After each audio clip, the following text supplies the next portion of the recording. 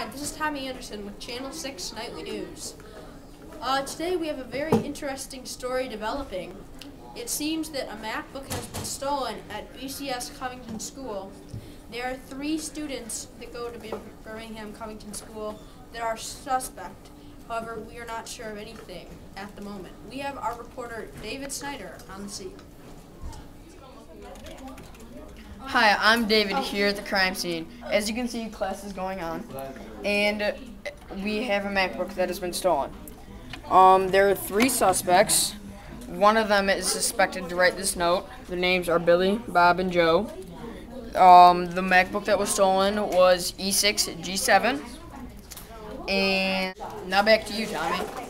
Uh, thank you, David, for that report on the scene. If you have any information regarding this crime, please contact Birmingham Covington School Police.